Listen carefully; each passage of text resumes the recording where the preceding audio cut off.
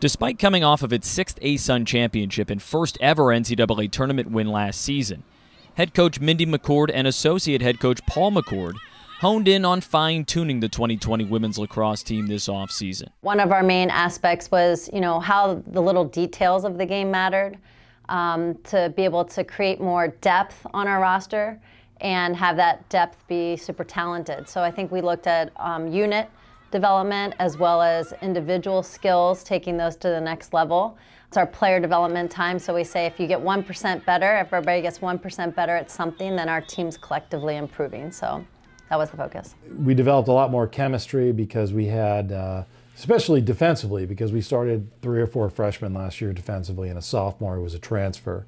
So it was almost like a whole new defense. We got a chance this year to maybe get to know each other better. Instead of just being thrown right in the fire, we kind of get some time to breathe and play.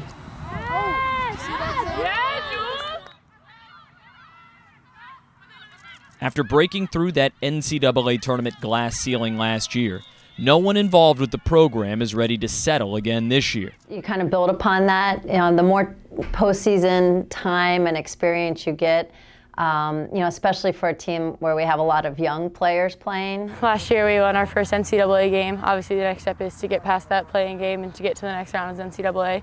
We know we can make it there this year and we got a dedicated team to do so.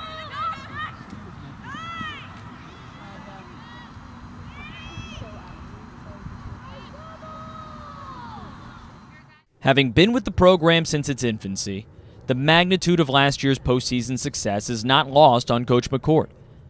She does know that taking the next step, however, is predicated on a deep and experienced team being battle tested at the end. Yeah, I think hosting that here was great to have another, you know, home game and um, to be able to get that win under your belt. You know, I built probably one of the toughest schedules this year from an RPI standpoint. So taking that even that next step to be able to play you know, potentially tournament qualifying teams. You know, and if you can get that in your in-season experience, we hope that'll propel us to that next level um, in our postseason this year. One of those experience pieces is sophomore defender Maddie Sturgill, an All-ASUN first team selection as a freshman, and now a preseason All Conference honoree and team captain. My freshman year was a really good year. I was fortunate enough to play with a great group of players, and now I'm back with like most of those players as well. They continue to help me grow as I continue to help them grow. We're all together in a cohesive unit.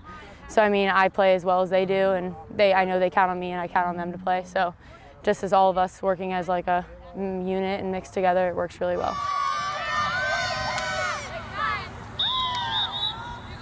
There was no soft landing for this group, but the ceiling is just as high as always and the coaching staff wants them to learn and grow, all while producing the results they know this team is capable of. You know, start the season off right. We have four games in February. Let's go 4 0. Let's really focus on 4 0 February, and then let's go from there. And uh, the bottom line is whether you're 4 0 February or not, you got to do the best you can and make the most improvements that you can all month long. So when you go into March, you're a completely different team than with the team we're talking about right now.